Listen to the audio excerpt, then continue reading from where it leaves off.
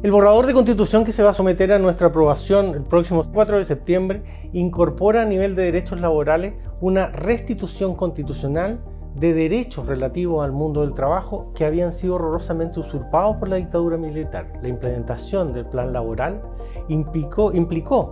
una minimización de la capacidad de la,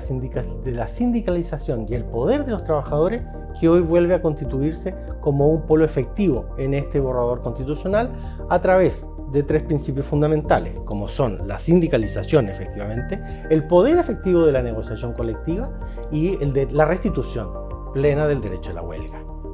De la misma forma, este borrador constitucional también establece nuevos, nuevos derechos laborales, como son la participación de los trabajadores en, en, las decisiones de la empresa, lo que abre al mundo de la participación y la democratización del mundo del trabajo, y de la misma forma un principio interesantísimo de explorar y desarrollar por la medida por la, medida de la constitución del trabajo decente.